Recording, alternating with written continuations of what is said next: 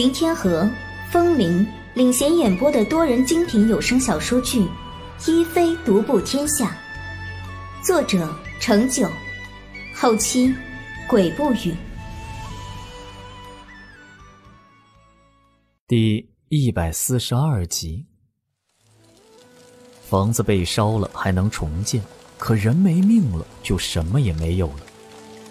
季云开把所有的香油都倒出来后，又把窗户上的纸全部撕下来，丢在火堆里，让火烧得更大，蔓延得更快。这个小院是独立的，季云开并不担心烧起来会牵连无辜。有一条小蛇顺着季云开的腿往上爬，可爬不到一半就被季云开用棍子拨了下来，然后一脚踩死。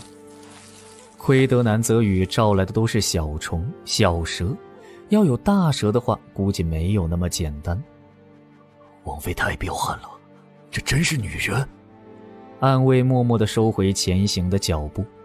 对于敢放火烧虫、一脚踩死一条蛇的王妃，他们实在没有办法把她和弱女子画上等号，也不觉得王妃需要他们救，指不定他们还要王妃救呢。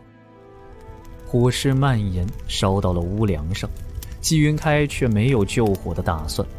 见虫子因大火四处乱跑，季云开果断选择外出。他虽不怕这些虫子，但也不想被咬。先不说有没有毒，被咬一口就足够疼的了。季云开看也不看一眼，拖着两只粗粗的腿，有些笨拙地往外走。没办法。他怕外面还有毒虫，他不敢把包在腿上的被子扯掉。季云开走得干脆，却把躲在暗处的南泽宇气得吐血。季云开，我太小看你了，居然遇到一个完全不怕毒虫的女人，真的是倒霉。既然毒虫要不了他的命，那就只能亲自出手了。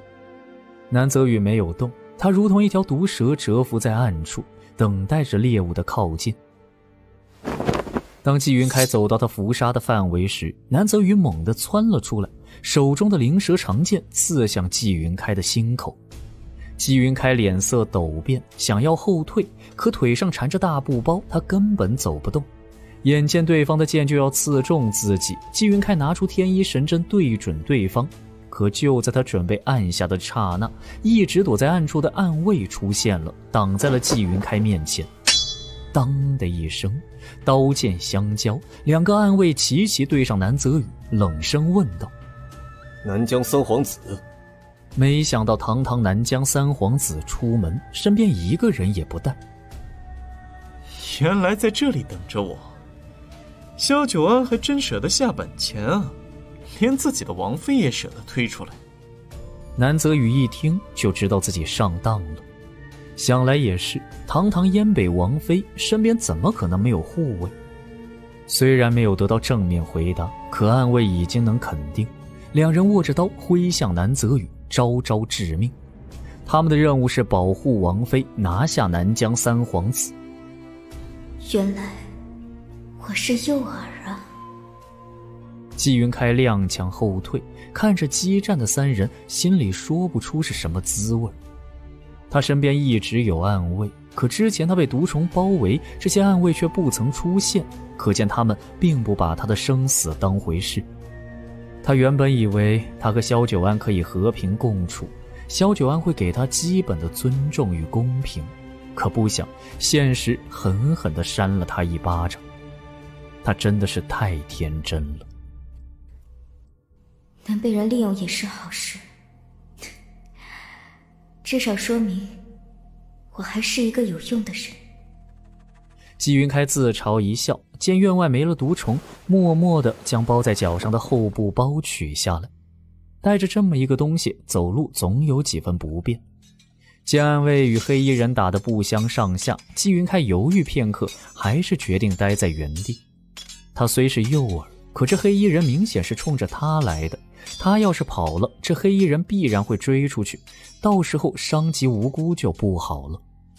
南泽宇的目的是杀季云开，他并不愿意与暗卫纠缠，边打边退，试图靠近季云开。季云开看出了他的目的，默默地将天一神针对准他，却没有按下去。天一神针一共只能用十一次，他已经用了两次。如果暗卫能摆平这个黑衣人，他何必浪费？可是他太高估暗卫的实力了。那黑衣人见久久摆脱不了暗卫，突然一甩衣袖，只见两道银光闪过，紧接着就听到暗卫惨叫的声音。两个暗卫惨叫一声，瞬间倒地。纪云开脸色大变，立刻按下天一神针，只听见“噗”的一声，九枚金针破空而出，射向黑衣人。不料，刚刚飞向暗卫的两道银光突然朝他扑来。其中一道银光被金针打中，落在地上。纪云开无暇去看那道银光是什么，因为另一道银光已经冲到他面前。他想要躲开，可他的速度快，那道银光的速度更快。那道银光打在他的脸上，纪云开只觉得脸上像是被什么咬了，本能的伸手去摸，却摸到了一条将死的小蛇。怎么回事？季云开拿着小银蛇的尸体，看着他嘴角的黑色，大脑有片刻的空白。那两道银光是两条小蛇，然后他把蛇毒死了。他什么时候这么厉害了？啊！你，南泽宇看到一死一伤的两条小蛇，苍白的脸扭曲可怖，提起灵蛇剑就要上前，可刚一动就被三枚金针刺中。金针刺入体内，不断旋转，奇痛无比，而且那疼痛不是一时的，而是不间断的。这是什么东西？南泽宇脸色大变，想要将金针逼出来，却发现他一动，刺入他体内的金针转动的更快。哼，我为什么要告诉你？南疆的三皇子。你为什么要杀我？季云开随手将小银蛇丢了，冷着脸看向面前的黑衣人。我为什么要告诉你？同样的话，南泽宇丢还给了纪云开。凭我能杀你？纪云开举起手中的天一神针，对准南泽宇，却没有按下去。他发现天一神针虽然厉害，可好像没有办法要人命。只能伤对方，果然是医者仁心。天一神针只为保命，并不为杀人。南泽宇脸色一变，顾不得杀纪云开，更顾不得地上的小银蛇，转身就逃。喂！